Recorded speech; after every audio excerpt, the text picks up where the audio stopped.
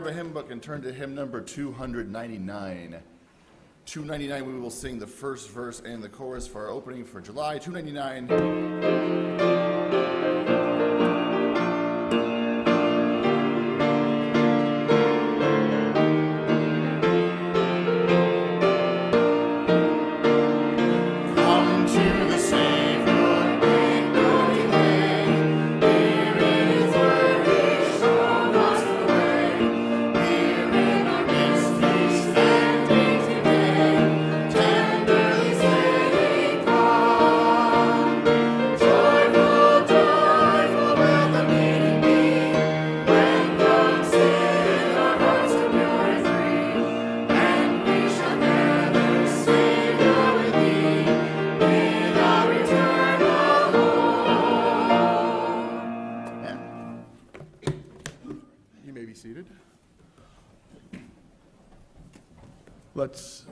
Ready to prepare our hearts to go to the Lord in prayer, but also keep Bill Gant.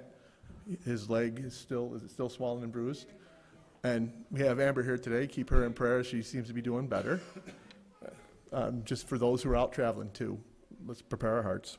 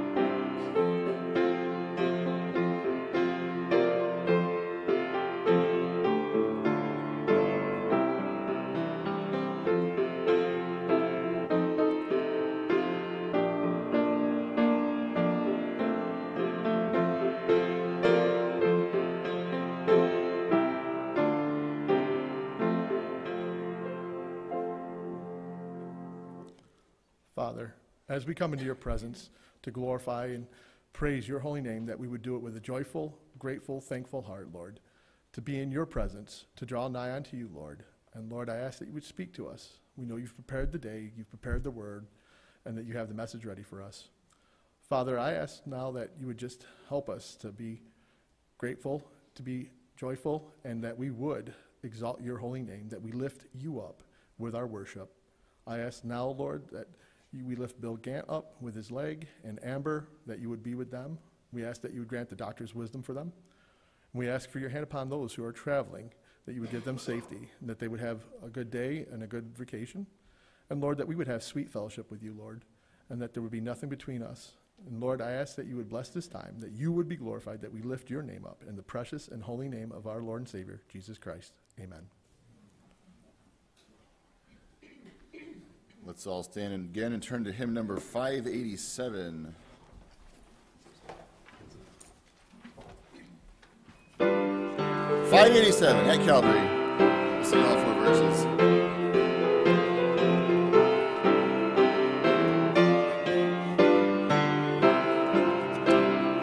Years I spent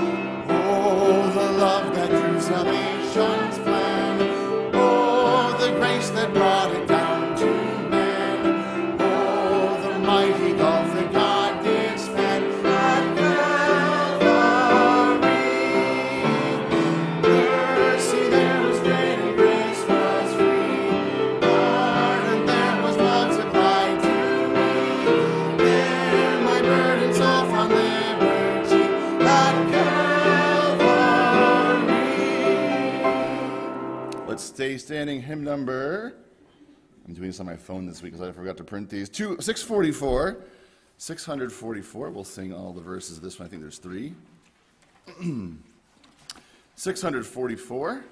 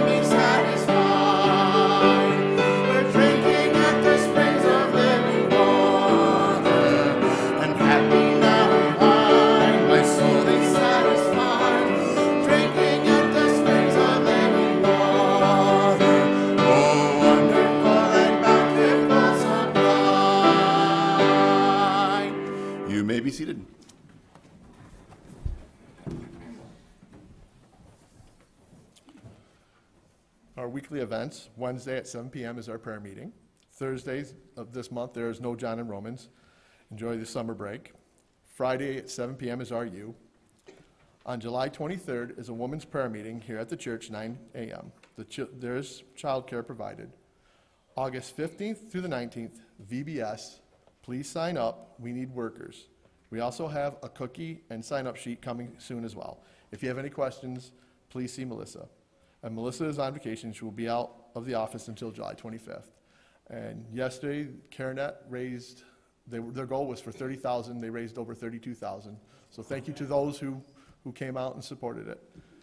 Um, Dan? We'll stand one more time for our offertory hymn number 356. Whosoever will, 356. Ushers, you can come on the chorus of the last verse. 356.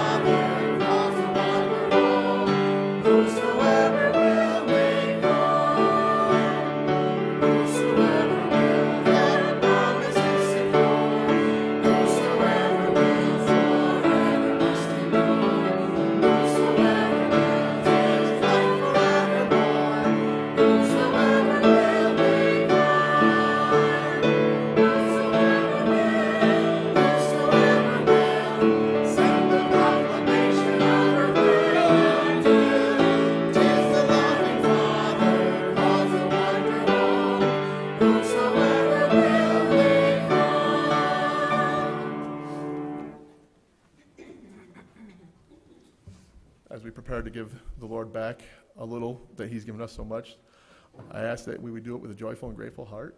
Marty, would you ask the blessing on the offering? Our Heavenly Father, we are so thankful for everything you give to us, for the day you've given us today, the blessings. Help us always to be mindful of that, Heavenly Father. And Please, Heavenly Father, accept our worship and our offering, that may bring glory and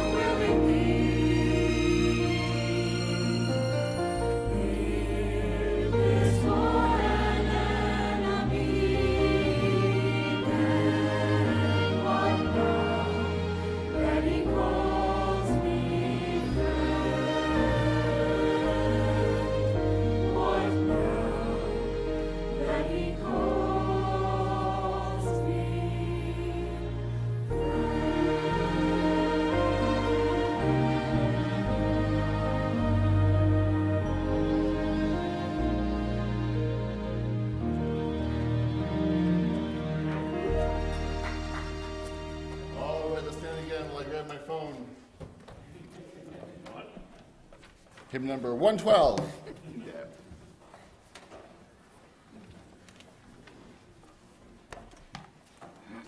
Number 112, we'll sing all four verses.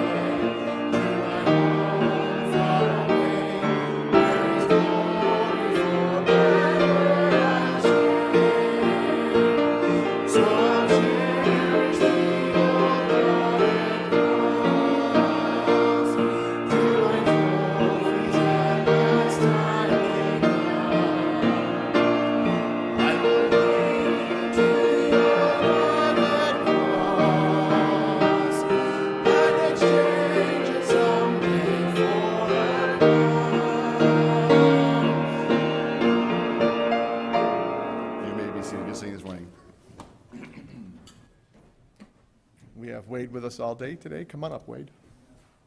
Praise the Lord. It's worth traveling an hour and a half just to hear that music. It really is. It's a real blessing to be here.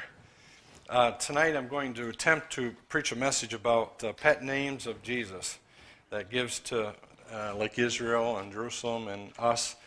And I thought if you wanted to hear a little bit about that, because you guys have named me, you girls and boys have named me Baptimus Prime.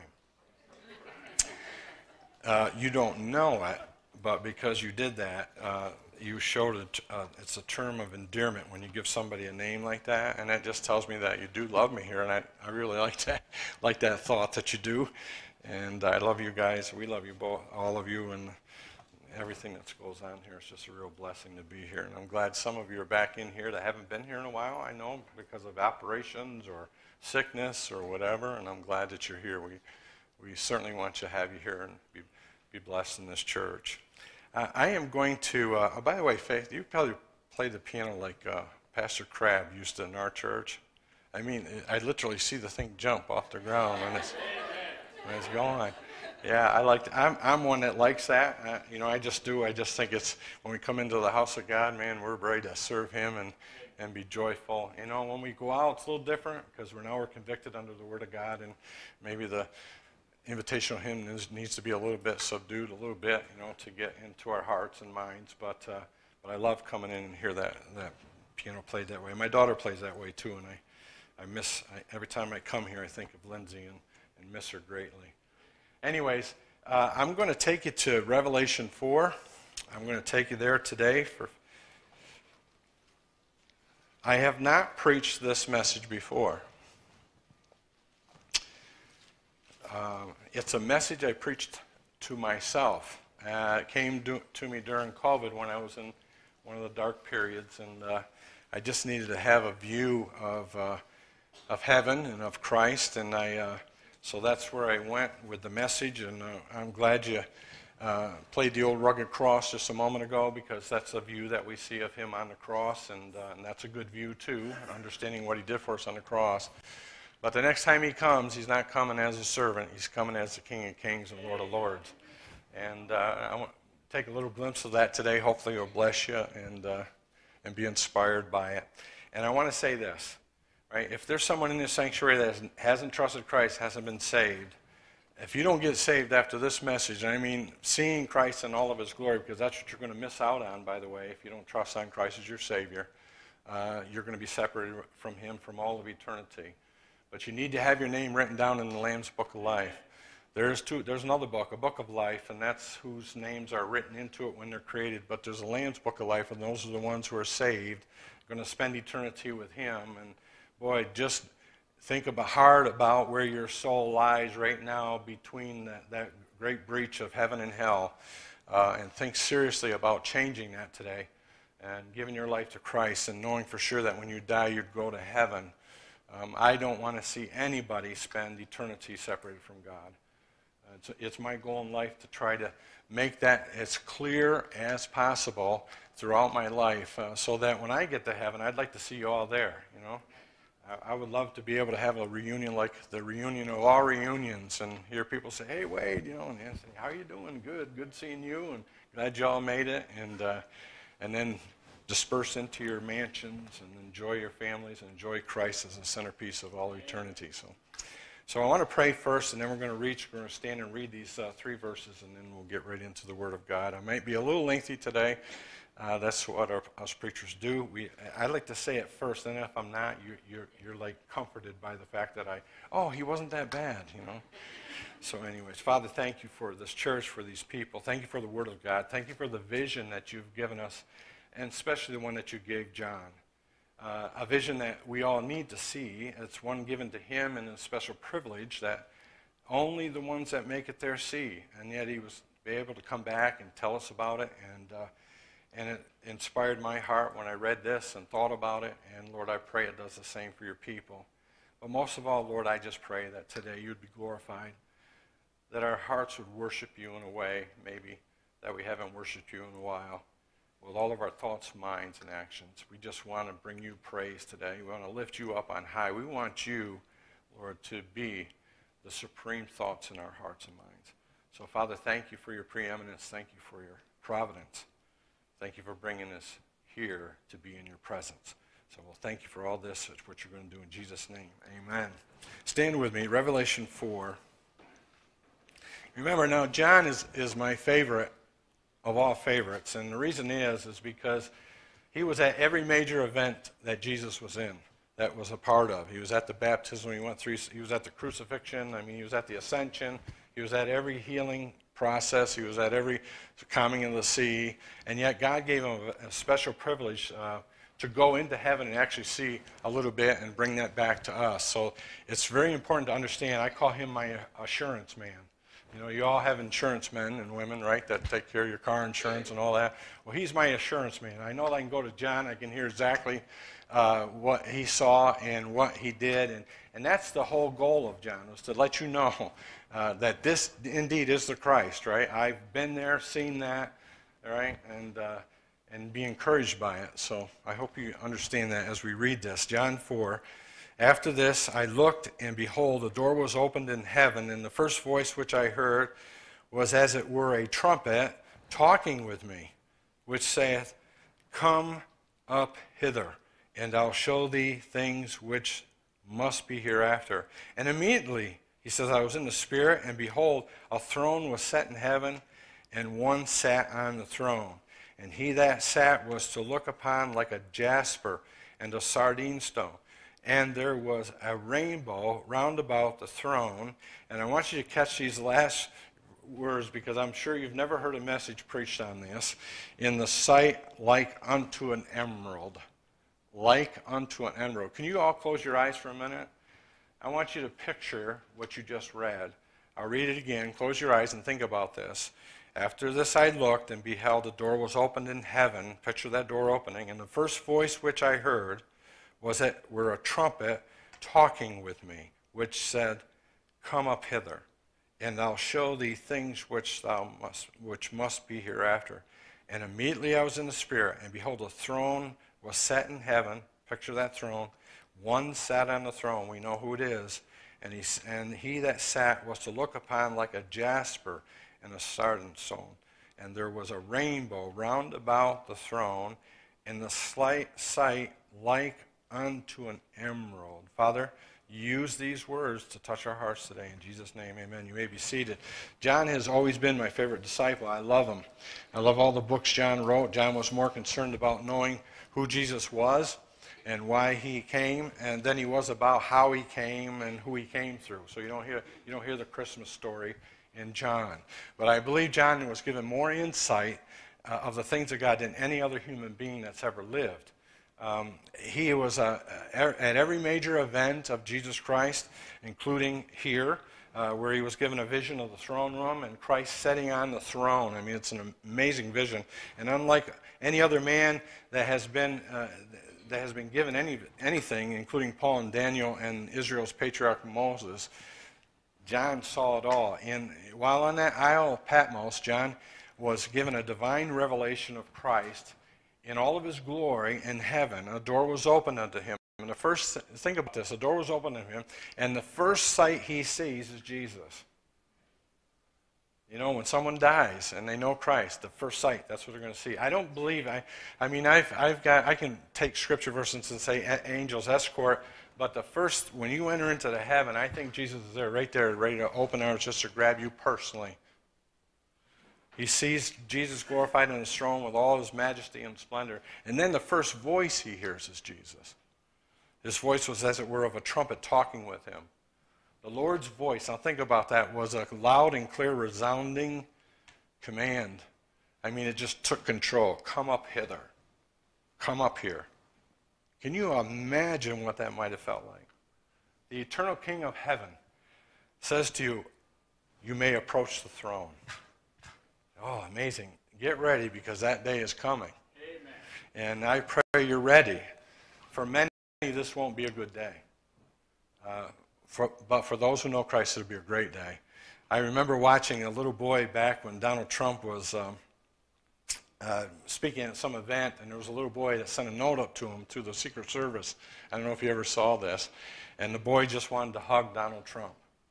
And uh, he, wasn't, he wasn't very old. I'm, I'm saying maybe uh, Matthew's age or, you know, Ben's age or something like that, but he was he, he just wanted to hug Donald Trump. And I remember watching a little boy, they escorted him up who wanted to meet Donald Trump in order to give him a hug, and Trump did the unthinkable. He said, Bring him up here. Come up hither. And that little boy went up there, and then the unthinkable happened for that little boy. Before that little boy had to before he had a chance to hug Donald Trump, Donald Trump hugged him. And I just remember that feeling, and it made me think about coming into heaven for the first time and having somebody of that stature, you know, come up and just, our Lord Jesus Christ come on up and hugging me. One of my favorite thoughts is approach, is to approach Jesus with a hug. Uh, someone gave me a picture one day of that. There's a picture of, uh, of, of him hugging the, the, the prodigal coming home, and, I, uh, and then he first embraces you, and I love that thought. But it, like I said, it won't be a good day for many Christians or for many non believers uh, when that day. Ha- our Lord in, informs John, I will show thee things which must be hereafter. You know, the, what he's saying is this from this point forward, the focus of the book of Revelation is the hereafter. But up until this point, it was, uh, the, it was about the here and now.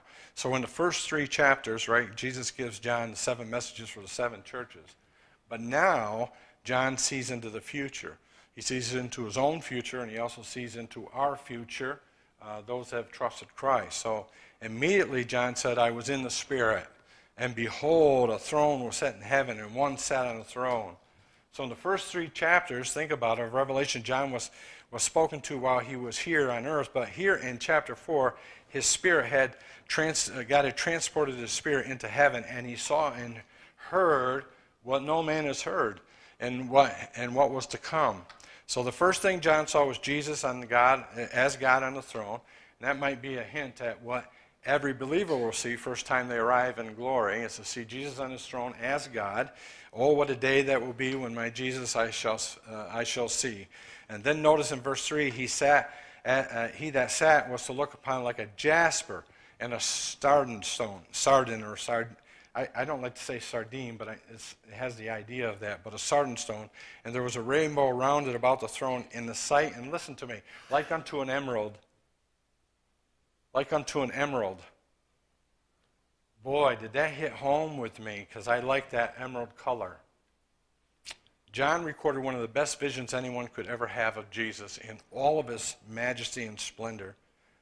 He painted a majestic picture that the splendor of his eyes had beheld, and it just overwhelmed him. He, he that sat was to look upon like a jasper and a sardine stone. Sardine stone.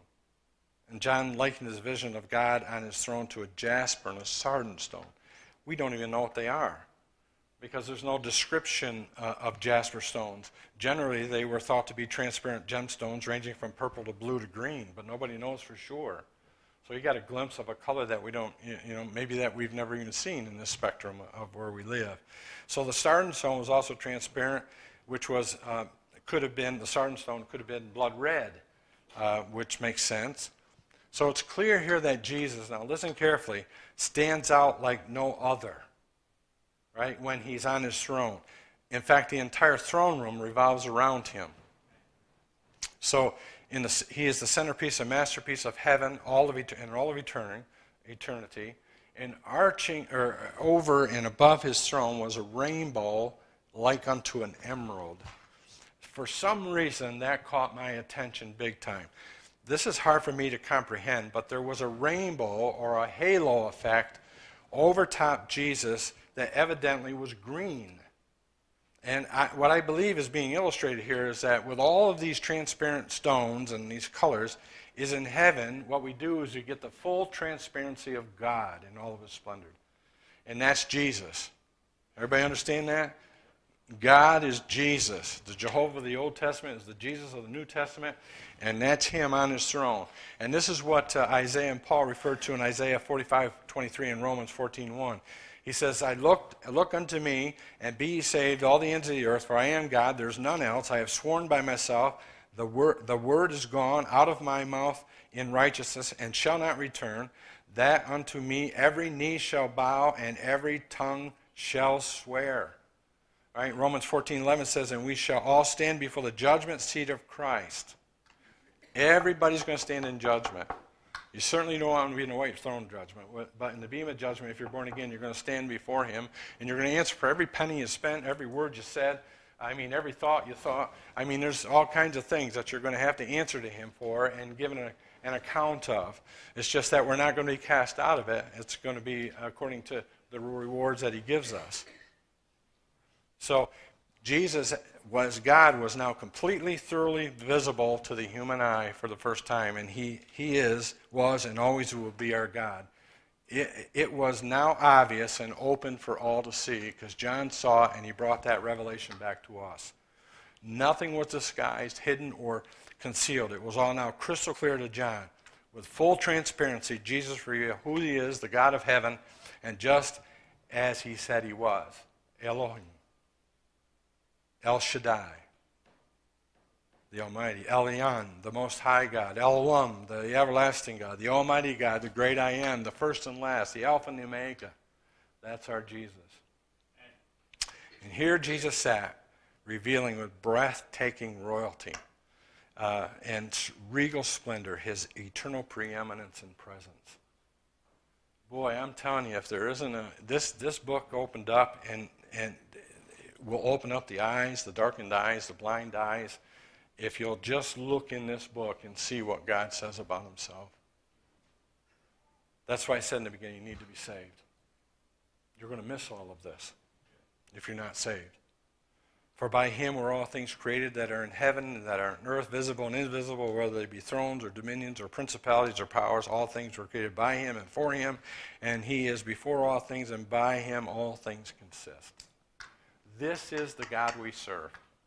This is the God that came down out of heaven and went into the skin of man in order so he could reach our hearts and save us from our sins. It must have been an awesome sight. John must have had all he could do just to breathe, let alone keep himself from collapsing to his knees. And then John continued to describe the other seats or the thrones, which were situated apparently in a semicircle around the throne room. Uh, it seems like it was that, uh, like the old amphitheaters over in Caesarea Philippi.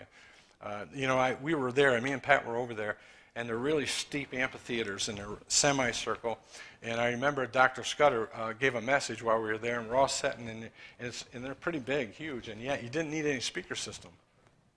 He would just speak, and it just, for somehow, uh, however they built that, it would just transform into uh, uh, volume out into the, into the crowd. I remember um, one time going to in uh, Northfield, Massachusetts, to a, uh, a, a conference out there uh, at D.L. Moody's where he preached, and the same thing. He was just a little guy. He's only about this tall. In fact, I stood behind his pulpit. His pulpit was about this high. And yet they said when he bellowed, they could hear him in the very top in the nosebleed seats because of the way the semicircle and the steep steepness of, of the amphitheater. So John continues to describe other seats and thrones. Going back to verse 3, it reads, And he sat, uh, and he that sat was to look upon like a jasper and a sardine stone, and there was a rainbow around the throne in the sight like an emerald. John says it was a sight to see. A true emerald is a sight to see. Uh, what was Jesus showing him? What was Jesus showing us? Why is this written in Scripture? Well, in the 16th century, I, I, just to go back and give you some, uh, uh, Cortez brought back many emeralds from Spain, from Latin America, and one of the Cortez's most notable ones was, uh, was engraved on it Among those born of a woman, there hath not risen a greater. And he, of course, was talking about John, all right, John the Baptist. Not, not this John, but John the Baptist. And in Matthew 11 says, Verily I say unto you, among them that are born of a woman, there hath not risen a greater than John the Baptist, notwithstanding he that is least in the kingdom of heaven is greater than he. So among all the emeralds, now think about this. Among all the emeralds, this one was the greatest. And so John the Baptist was a great man, but a greater truth is here, right before our eyes. There is one greater than John, and that's Jesus Christ. Right? He is the one who John came to reveal, and the one whom one day will reveal to all mankind. Whether you believe in him or not, one day they'll all bow before him.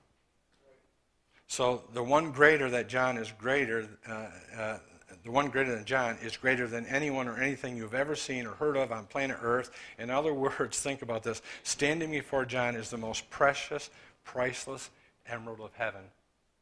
That's what I kind of, that's why I named this message, the emerald of heaven. I, I mean, this, this just overwhelm me sometimes. Uh, I just, because you look around us today and the earth is beautiful. It really is. If you've been around the world a little bit, there's places that are uh, just beyond beauty. But when you look at this and you think about what it's, think about the, what he gave us down here and what he's going to give us when we get there. It's the proverbial ring we put above an angel that represents holiness. Do you understand that? That's what that halo is. When I thought of Jesus being the emerald of heaven, I thought of what it must look like to John with an emerald ha- halo around Jesus. A halo is that misty or foggy disk, right? That or circle of light you see surrounding above or around, and Catholics use that a lot in you know their pictures of the angels and Christ or the halo. So the only halos I've ever experienced are the halos you see in the headlights of cars when I had the cataract. That's that's the only thing I ever saw. I had the cataracts taken out. I don't see the halos anymore, but they got so bad that I could not see the drive. But this emerald, this halo associated with Jesus made me think, what is it? When you look at that and all the splendor of all that Christ represents, so I wrote down 10 halo markers. You know, and this isn't really an expositional message. It's not even a topical message. It's just to make us think a little bit. What are some of the halo markers that to me represent Jesus in all of his appeal and splendor? Because he is our, the eternal emerald of heaven, which one day we're all going to meet and see. First one is this He is the most triumphant of all powers. He is the most triumphant of all powers. Daniel 4:35 says, "And all the inhabitants of the earth are, are reputed as nothing, and he doeth according to his will in the army of heaven and among the inhabitants of the earth, and none can stay his hand, or say unto him, What doest thou?" Anybody fallen into that trap once in a while? What are you doing, Lord? There's no one that can stop him. There's nothing and no one more powerful than him. He is immutable. He's imperishable. He's indestructible. Right? That is our God. By this I know thou favorest me because my enemy does not triumph over me. I always say, don't ever give Saving Satan credit for nothing.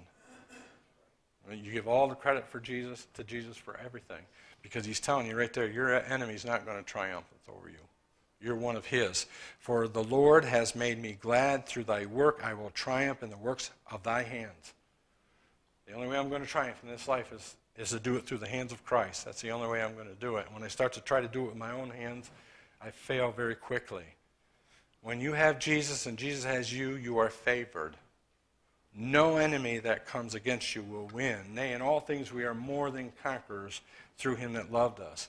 So, whenever evil is meant to, against you, God will make good out of it in order for you to triumph through him. Now, thanks be to God, which always causes us to triumph in Christ. 2 Corinthians 2.14. Here's the second thing. He is the most transcendent of all paramounts. I love this. He kind of lives outside of time and space. Uh, in fact, turn over to Revelation 19 just quickly here.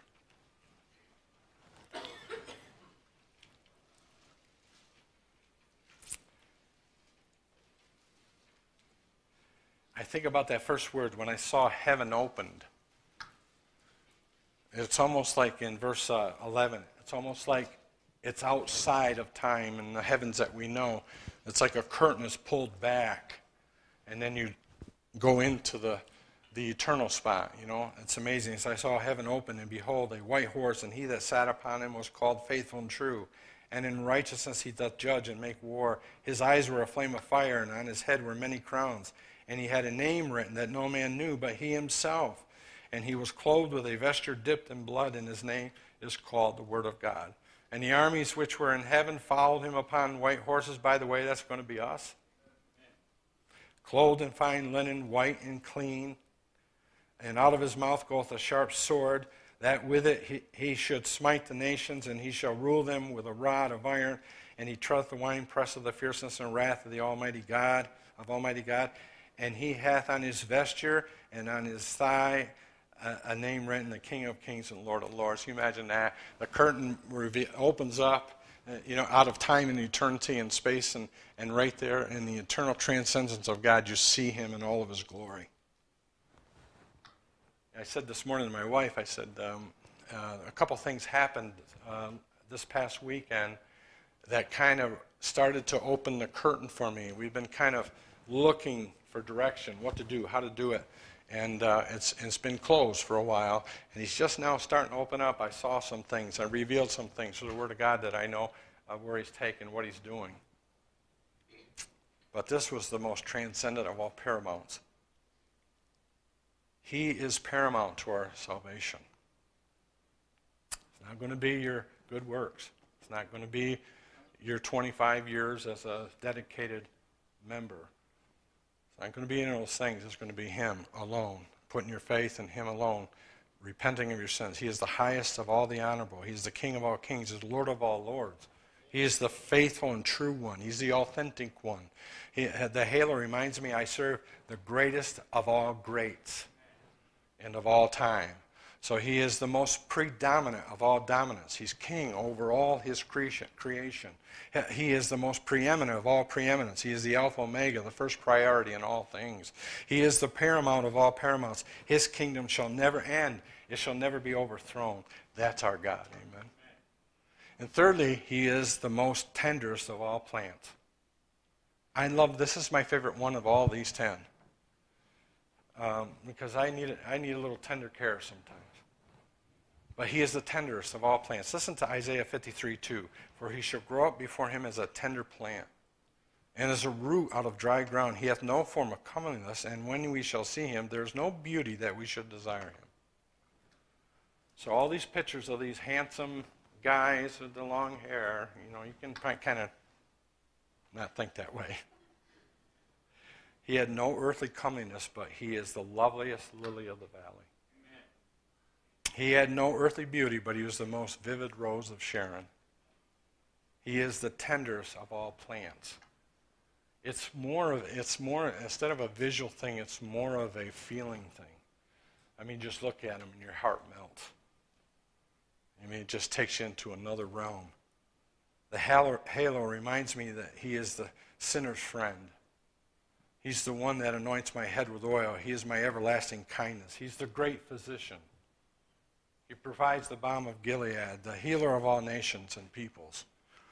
He healeth the broken in heart. He bindeth up their wounds. He bound my wounds years ago, set my feet on solid ground. He is the one who really cares when no one else does. He comes to you with healing in his w- wings when you need him. He is the one who is truly concerned about me and you and has a tender, has a tender compassion on our weaknesses and our fails, failures. You know, how excellent is thy loving kindness, O God, o, o God. Therefore, the children of men put their trust under the shadow of thy wings. Psalm 36, 7. James 5, 11. Behold, we count them happy which endure. Ye have heard of the patience of Job and have seen the end of the Lord, that the Lord is very pitiful and of tender mercy. And I like Luke 178. Through the tender mercy of our God, whereby the day spring from on high has visited us. You know, God looked down on us in, in mercy and just said, I'm going to send the tenderest plant I can send to them. Fourthly, he is the most treasured of all pearls. You know, pearls are got that look about them. That you ever see a pearl finish on a car, the way they do it? It's just got that. I don't know how, how to explain it, but I love pearl finishes on cars. It's almost like it gives us two or three different visual, visual effects. But again, the kingdom of God is like unto a merchant man seeking goodly pearls, who, when he hath found one pearl of great price, went and sold all that he had and bought it. Boy, when you give your, when you when you see Jesus and all spend, you just want to give up everything you got for him. When you find Jesus, you find the most precious, perfect of all jewels. He's illustrious and priceless, a beautiful gem. You never want anything again but him. He is my shepherd; I shall not want. Right? But my God shall supply all your need according to his uh, his riches and glory by Christ Jesus. He gives me everything according to his riches in heaven. You know what that tells me? Once I have him, I have, I am the richest man on the planet Earth. I may not have a penny in my savings account. It's fun living that way, by the way. Because uh, you know the next day he's going to provide something for you to get through the day. And that's so good. Here's the fifth, fifth one, right? He is the most touched of all passions. Our Savior is a passionate Savior. Yeah, for we have not a high priest which cannot be touched with the feeling of our infirmities, but was in all points tempted like as we are, yet without sin. He feels your pain. He sees it when you're struggling through life. He feels our pains, knows all of our weakness. He sees all of our sufferings and sorrows, feels them himself. He grieves with us when we grieve. He mourns with us when we mourn. He is the one who tells us to Rejoice with them that do rejoice, and weep with them that weep. When, we, uh, when he saw those weeping over the death of Lazarus, he was troubled, it says, in his heart, and he began to weep himself. The Spirit of the Lord is upon me, he said, because he hath anointed me to preach the gospel to the poor. He has sent me to heal the brokenhearted, to preach deliverance to the captives, and the recovering of sight to the blind, and to set at liberty them that are bruised. That's the way he looks at us. When he, when he saw the multitude, he saw them as sheep without a shepherd, starving without food. But thou, O Lord, are a God full of compassion. Full of compassion. It is of the Lord's mercies that we are not consumed, because his compassions fail not. They are new every morning. Great is thy faithfulness. Every day I wake up, I think about his compassions. He got me through the prior day. He's going to get me through this day and the next day.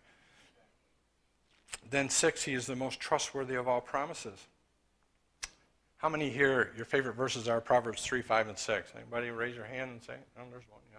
My wife. Anybody else? Nobody? Honestly, usually I find about half the church raises their hand on that one. Proverbs 3, 5, and 6. Right? Trust in the Lord with all thy heart, lean not unto thine own understanding, in all thy ways acknowledge him, and he shall direct thy paths. It's one of the hardest verses to live by. I'm one that got to understand everything. And I said, "No." God many times just slaps me aside the head and said, You don't need to understand that. You just keep trusting me and you'll be fine. I don't know what path you're on, but if it's not on the path Jesus wants you on, don't trust it. Are you listening to me? Don't trust it. He's a lamp for your feet and a light for your path. He is the one who makes a way in the sea and the path in the mighty waters so they don't overtake you, the Bible says. So he will not leave thee or forsake thee, but it's much easier for him to do so when we stay on the path. You know? When we go off the path, he's got to get out, he's got to go off the path himself to get us to bring us back to himself. He shows you the path of life where there's fullness of joy and pleasures forevermore. And he wants you to stay on that path, right? So 2 Peter 1 4 says, Whereby are given unto us exceeding great and precious promises, that by these ye might be partakers of the divine nature, having escaped the corruption that is in the world through lust. Right? If you just kind of keep those binders on and, uh, from the world and keep looking to Him and stay on the path, He's got great promises for you. Seven, He is the most timely of all purposes. To everything there is a season and a time to every purpose under heaven. That's what the Bible tells me. He makes everything perfect in his time according to his own purposes. So he hath made everything beautiful in his time. He has also set the world in their hearts so that no one can find out the work of God, the work that God maketh from the beginning to the end. He wants to stay in that position where he is, where you just want to know everything about him. And then he'll give that information to you as you seek him out and seek you know, through the Word of God. He is, he is perfect, and therefore his timing is perfect. He's never late. Right? He's always on time. The halo reminds me he came just at the right time for me. You know, I remember when I first got saved, I said, why didn't I get this when I was only five years old? And, and I hear these preachers get up there and say, yeah, I was saved at six years old, and I've had six, 50 years. I'm thinking, oh, I wish I had that. I had to go through a little schooling of hard knocks, I guess, to it. Uh, I had to get the, the ointment there to open up my eyes so that I could see. But just the fact that he came for me, it just reminds me he came right on the right time. He knew exactly when I was going to trust on him, and it might be for you today. Right? This is the time. You've heard the gospel. How many times have you heard it? How many, how many people have said to you, you need to be saved? And you're just, you just say, well, I'll do it on my deathbed. Well, I'll tell you, I want to tell you something. Um, Brother Adam Kowski didn't have a deathbed. He didn't know that day when he woke up he was going to drown and leave his family behind. I know that whatsoever God doeth, it shall be forever. Nothing can be put to it, nothing can, nor anything taken from it. And God doeth it that men should fear before him. That's Ecclesiastes 3.14 and Galatians 4.4. But when the fullness of time was come, God sent forth his son. He knew exactly what he had to do, made of a woman, made under the wall, uh, under the law, that we would trust on him. Eight, he is the most talented of all pundits. You know, there's a lot about pundits today in politics, but a pundit is an expert in his field. I'm not so sure our politicians are experts in their field anymore. But what I'm trying to say here, and what it reminds me of, is that it doesn't, you don't get any wiser than Jesus. No wiser. Hast thou not known, hast thou not heard, the everlasting God, the Lord, the creator of the ends of the earth, fainteth not, neither is weary. There is no searching of his understanding. His wisdom is beyond what we can comprehend. He knows everything. He can do anything. He is smarter than anyone. Everything he does, he does perfectly and thoroughly. He is the best you're ever going to get. Give your life to him. Give your life to him. There's no one more wise than him. And right now we need a lot of wisdom. And that's right in this book that we have that he gave us. Great is our Lord and great power. His understanding is infinite. It's way beyond our understanding. Psalm 147.5. He can do anything he, he, he wants because he knows everything and he needs, that needs to be done. So he's fully omniscient, right? He knows everything, flawlessly proficient, and he's faithfully sufficient. You know, one of the verses that I like in here is 2 uh, Corinthians 3 5. Not that we are sufficient ourselves to think of anything of ourselves, but our sufficiency is of God. Right? That's where our sufficiency is. For if our heart condemn us, God is greater than our heart, who knoweth all things. And God is able to make all grace abound towards you, that ye, having all sufficiency in all things, may abound to every good work. I mean, it's amazing, isn't it? He is our sufficiency.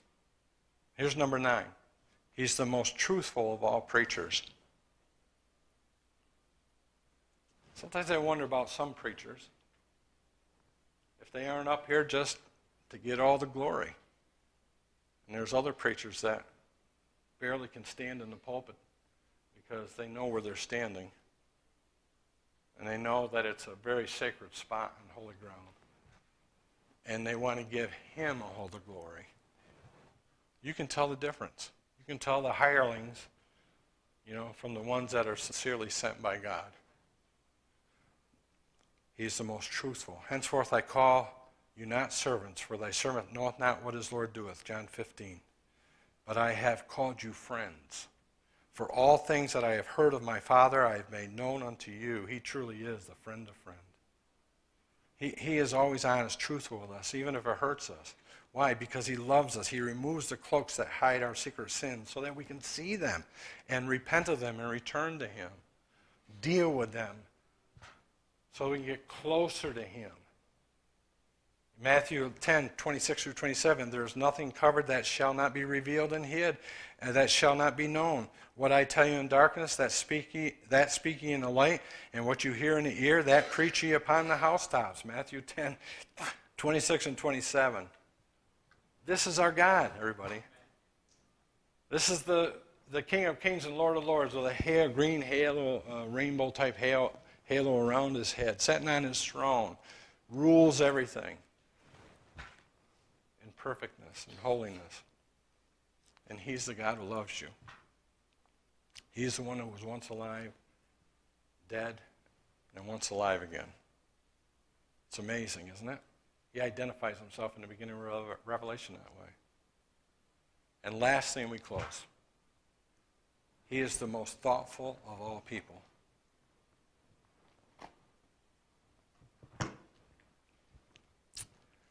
My friends, no one cares for you like Jesus. No one. I do my best to care for people. I do. But no one cares for you like he does. Casting all your care upon him, for he cares for you. He hung on that cross as a man. As he hung on that old cross, now think about that, suffering for the sins of the world, thinking about you personally. All because he cared so deeply about you. Looking unto Jesus, right? The author and finisher of our faith who for the joy that was set before him endured the cross, despising the shame, and is set down at the right hand of the throne of God. That joy that was set before him, you've heard this probably a thousand times in this church, was every one of you. Why would you want to grieve him by not receiving him as your Savior? Why would you want to miss seeing him in all of his splendor and, and all of his majesty? Do you know Isaiah wrote those words um, in Isaiah 53, almost 700 years before he came for you? Do you think he gave you enough time? I, I mean, amazing. I mean, put things in order, just so he could, so you'd understand that he is the King of Kings and he is your Lord and Savior. The whosoever in John 3:16, I'll think about this. For God so loved the world that he gave his only begotten son that whosoever believes in him shall not perish but have everlasting life. The most repeated verse, the most memorized verse in the Bible. That whosoever is you. Do you know you can't save the wrong person? You can't save the wrong person. During COVID, I, I wrote a track and I called it You Are So Loved, and it's based on this message. I haven't had the money to print it, but clearly, um, but clearly it touched my heart. And I hope it touches you that nobody has ever loved you like he loves you. Nor will anybody love you like he loves you. The whosoever in John 3:16 is where we all start because that whosoever is you. And he couldn't bear to lose you. Just couldn't bear to lose you. He loved you too much for that. And that's why he endured the cross. That's why your debt had to be paid, something only he could do so he could come. So he had to come and die in your place to give you his love and a new life too.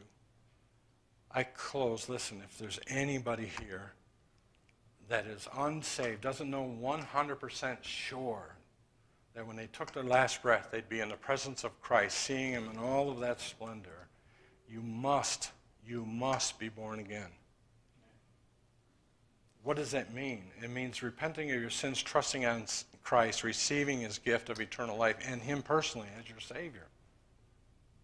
And I can't explain it, nobody can, but once you do that, His Spirit bears witness with your spirit, and you know that God moved in and you know it's changed. You know you're not the same person you were. Old things become new.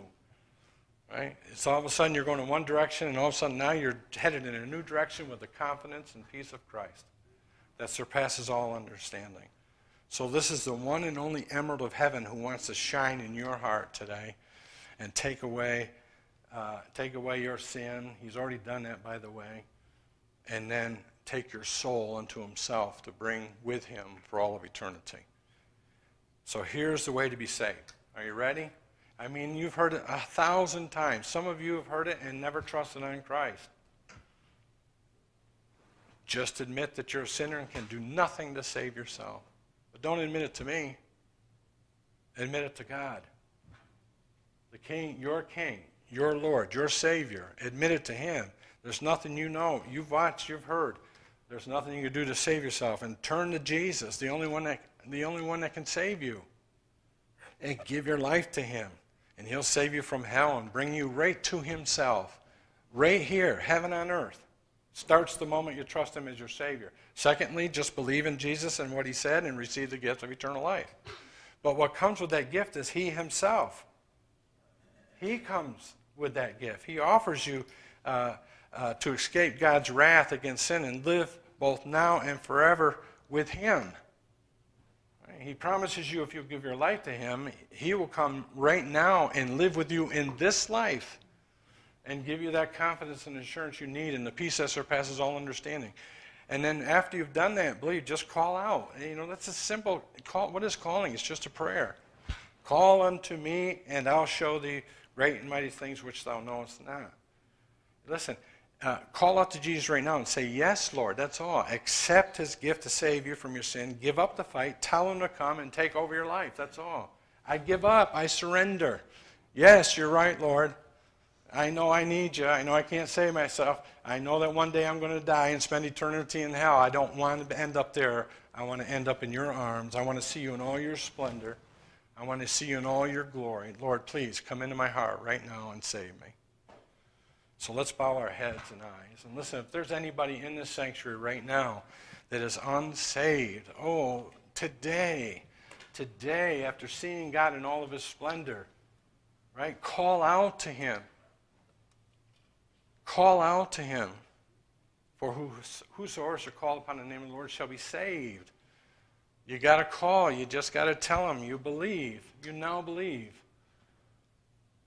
I'm no longer going to walk out of this sanctuary again or walk away from this uh, uh, Facebook page again and not trust you as my Savior. Just say something like this in your heart Dear Lord Jesus, thank you for loving me and coming and dying for me. A sinner who now wants to live forever with thee. Lord Jesus, I'm turning to you and away from my sin.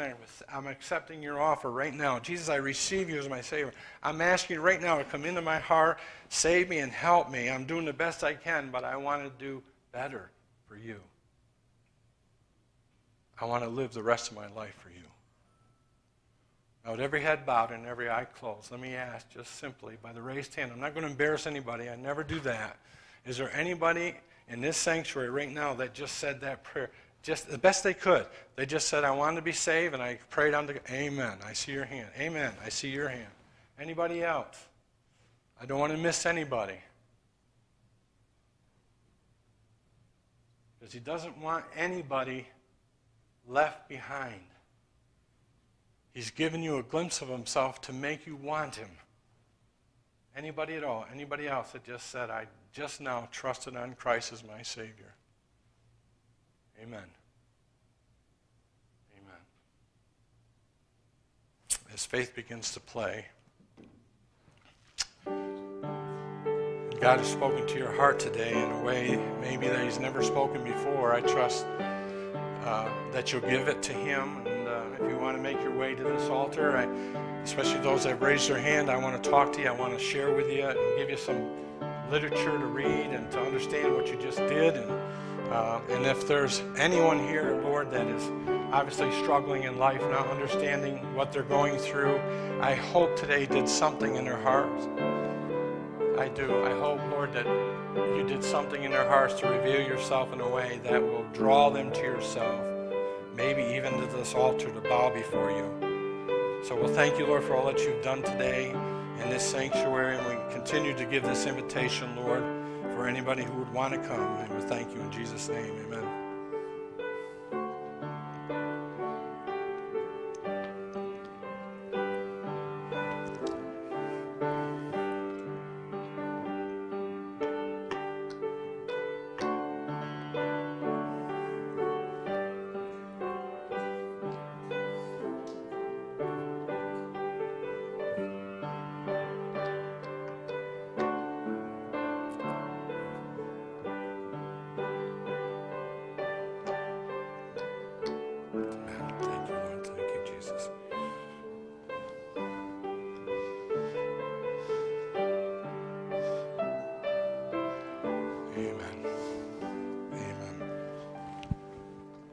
Stand with me, would you please, everyone? Those of you who raised your hand, I'd really like to talk to you if I could. Um, I'd like to share with you some things and just give you something and just love on you a little bit like Jesus loves on you and uh, give you some reassurance of what you just did is real. You know, I always say to people after they get saved or they give their life to Christ, I said, they're like newborn babies. Who- Who's, what's easier to steal, that little baby right there or a full grown adult? The little baby. Why? It's easier for him to come in and just rip that baby out of the arms of Christ. And I said, you know, don't know this that once you give your life to Christ, that Satan's going to come in and try to convince you what you did wasn't real. And he's going to try to rip that all that you just did. But listen to me, God's the one who's faithful. He's the one whose salvation he gave to you. It's not your salvation, it's his. When he pulls you into his salvation, he's the one that keeps you. He'll never lose you. You may fall or falter or fail sometimes, but you know you always have Him to pick you back up again. Right? And it's important to know that because Satan is a, um, an adversary that wants us all dead. He just want, and he doesn't care about your life, by the way. He doesn't care anything about you at all. He just wishes that he can get you to hurt God by not believing him or doubting him or something he just did. And that's all. He's, just back to get a guy. He knows his time is short. So know that God is working. Amen. He's working in this church right now. We love you all. Thank you for coming, and I hope you come back tonight. I'll see you all.